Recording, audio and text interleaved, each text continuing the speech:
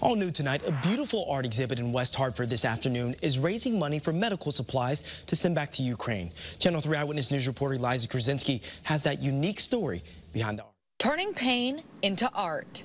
Maidan United's art exhibit, from battlefield to art, with walls filled with handcrafted paintings, all done by Ukrainian wounded soldiers at art therapy sessions at the hospital. What makes it kind of sad and even more precious is that some of these works they were like the only works that these guys ever created in their lives. Many of them went back to the front lives, uh, lines and sadly lost their lives with a mission to send life-saving supplies to Ukraine.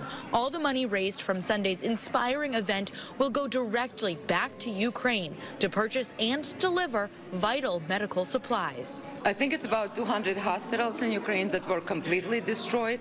So everything, like all the equipment, all the medical supplies were gone. From paintings to woodwork, some pieces incorporating shrapnel removed from their wartime wounds. You almost want to cry that during a war they have time.